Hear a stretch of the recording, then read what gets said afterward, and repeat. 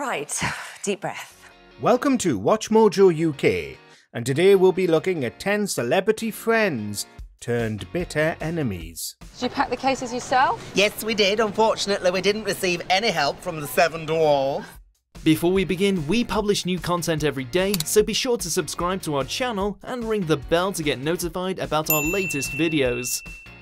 For this list, we're looking at close celebrity friends and partners who dramatically stopped working together.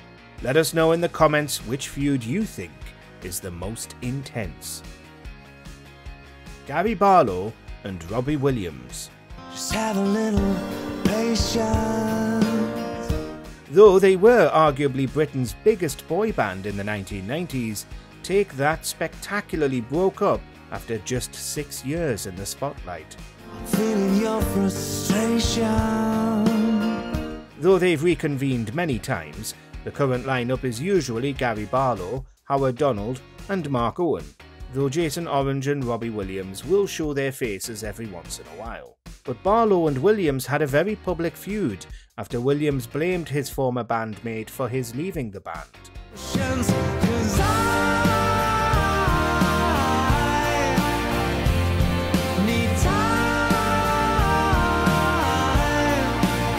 Williams made all kinds of comments about Take That being talentless, though eventually the two patched things up.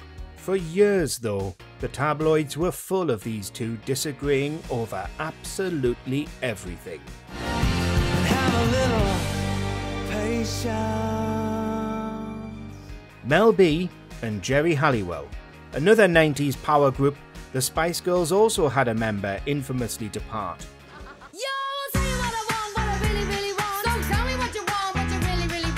In 1998, Ginger Spice quit, and though they continued for two more years, they were just never the same without all five members.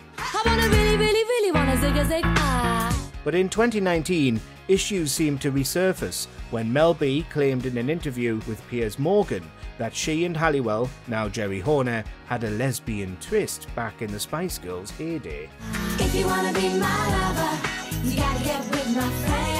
you gotta get with my friends. Geri's never said much about this, though she did once admit to having a same sex affair that put her off women for life, and according to anonymous sources, wasn't happy with Mel spilling these details, whether they're true or not. If you wanna be my lover. Sharon Osbourne and Simon Cowell. In 2017, mainstay of British and American pop culture, Sharon Osbourne was conspicuously dropped from the next series of The X Factor. When we flew you over. That's quite fabulous. You messed your band. She came and went from X Factor a handful of times over the years, but eventually left for good, though supposedly not by choice. We're miserable and we ain't doing that. She's claimed in the tabloids that she was actually contracted to do the next series of The X Factor, but Simon Cowell changed his mind, wanting to get rid of her because she was too old, in her words. She's gone on to attack Cowell publicly many times, saying things YouTube won't let us repeat here. Do you think he needs a reality check? I think you do actually. I bloody think you do, and I think I'm going to give it to you right now. Paul Hollywood and Mary Berry. Looks good, doesn't it? I would have liked to see more colour on the pineapple. People were up in arms when Bake Off moved to Channel 4 in 2017, with Mel Giedroyc, Sue Perkins, and Mary Berry all leaving the show. They were replaced at the time by Noel Fielding, Sandi Toksvig, and Prue Leith, but perhaps Berry left the show for some other reasons. It's baked, but it's wet. Yeah. The texture of the frangipane, it's a little as though it's curdled slightly. Mm. Paul Hollywood, the only original star to remain, has said that Berry once hit him with her handbag and that she was livid with him for the way he apparently treated his ex wife, whom Berry was also friends with. And then he went on the record to make fun of her lifestyle, implying that she lives in an enormous gated mansion. Slight soggy bottom there. You put, I think, the grated rind of about four limes in there, didn't you? Yes. Very, very limey. Matt Lucas and David Walliams. Where are you flying to today? Disneyland! For much of the 2000s, Lucas and Walliams ruled British comedy, making hit shows like Little Britain and Come Fly With Me. But it wasn't all sunshine and roses behind the scenes. For a while, they could put on a public show of unity, but would be tearing lumps out of each other backstage. We both love Disney, don't we, Jeff? It's alright. We've actually bought a personal DVD player with us so we can watch the Aristocats on the fly. Eventually, tensions got too high, and they dramatically stopped working together in 2011. Lucas has since rebranded himself as a wholesome all round entertainer, while Walliams has gotten himself into a few unpleasant scandals, including the one that cost him his job on Britain's Got Talent. It's a great film, The Aristocats. I shouldn't really like it because I am actually allergic to cats. She comes out in a rash. But luckily, these are cartoon cats, so they never come out the screen. However, years on, and they've supposedly got some new projects in the works. Kim Woodburn and Aggie Mackenzie. One sweep in the corner. Oh my god, oh no! It looks like Kim Woodburn is feuding with everybody she's ever met, let alone her former co star Aggie Mackenzie. They were also popular in the 2000s, presenting How Clean Is Your House, in which they toured the UK and shamed members of the public for their filthy lifestyles. This lady, she ain't no cleaner. It can't be that bad, surely, can it? Yes, 28 years worth. 28? Oh, my God. But the solid partnership turned sour in 2007 when the two got into a huge fight while both working on a pantomime down in Brighton. Who does he think he is? Well, Kim, I think we've got to rise to the bait, haven't we? See all the muck in that kitchen. Did you see it? Can't complete it. Come on. It's still not clear exactly what happened, but Aggie has said publicly that Kim crossed a line and refused to apologise. They still worked together for a few more years, but eventually things got too strained, and they've not spoken in over a decade. I can't believe somebody watches that television. Just right filth there. Coleen Rooney and Rebekah Vardy. It all started with a social media post back in October 2019, which quickly went viral. Believe it or not, these litigious wags were actually once good friends. Wives of footballers Wayne Rooney and Jamie Vardy, Colleen and Rebekah's falling out was so extreme it went all the way to court.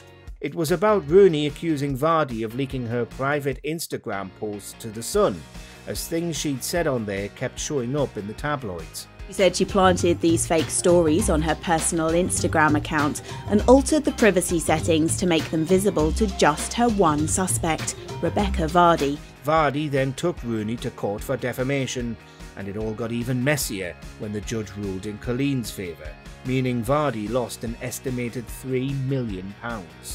We doubt they'll ever reconcile after that. The internet quickly christened Rooney Wagatha Christie in a nod to the world famous British crime novelist Agatha Christie. The Beatles.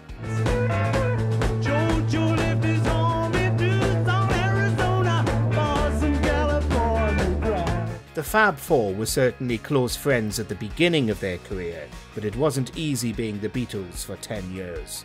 As the egos of each member grew and rifts sprang up primarily between Lennon, McCartney, and Harrison, although Ringo Starr also quit at one point, eventually a dispute over the band's legal team caused an irreparable rupture.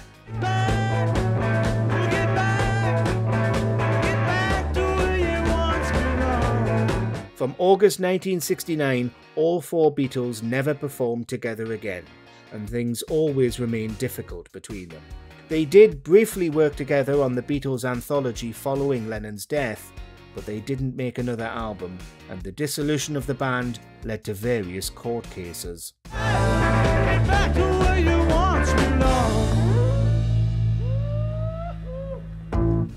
James Corden and Mathew Horne. I don't know. All I'm saying is there's some graffiti on a toilet brush in the men's cubicle at the Rose and Crown, which I reckon is aimed at me. What's it say? Smithy was here. After their starring roles in Gavin and Stacey, as Gavin and his best friend Smithy, Corden and Horne continued to work together in British comedy.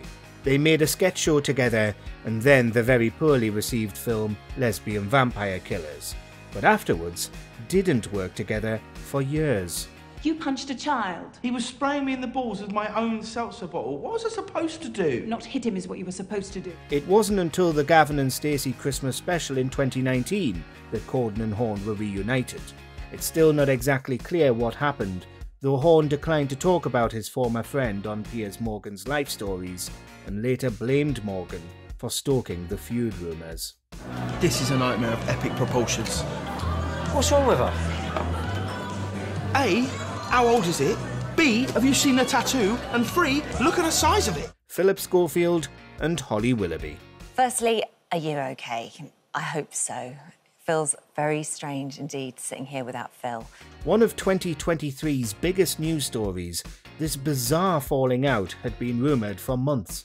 After the Q-Gate debacle, it began to circulate that Schofield and Willoughby had fallen out behind the scenes of This Morning.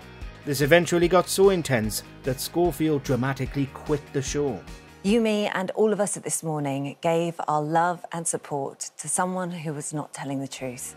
Then came the shock reveal that he'd had an affair with a 20 year old ITV runner to whom he'd given a leg up into telly. Who acted in a way that they themselves felt that they had to resign from ITV and step down from a career that they loved. Willoughby said in a public statement that she was as shocked as everybody else and that Scove had been lying to her. Which begs the question what did they fall out about before, if it wasn't this? Do you agree with our picks? Check out this other recent clip from Watch Mojo UK and be sure to subscribe and ring the bell to be notified about our latest videos.